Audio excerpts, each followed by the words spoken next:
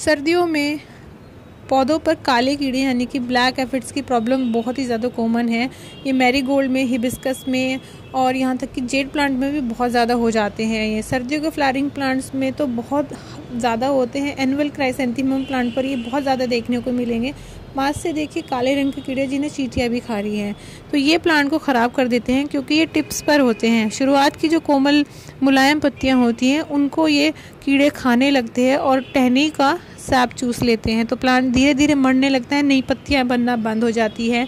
Time रहते आप इसका ट्रीटमेंट कर लीजिए, या तो आप इस पर नीम ऑयल का स्प्रे करें, या फिर आप नर्सरी से कोई भी अच्छा इंसेक्टिसाइड या पेस्टिसाइड लाकर इसका स्प्रे करें। और अगर आपने इसको बढ़ने से रोक लिया तो आपका प्लांट बहुत हेल्दी ग्रो करेगा, और अगर आप नहीं कर, कुछ करते हैं तो ये सारे पौधों में फैल जाएगा और प्लांट ख़राब हो जाएँगे।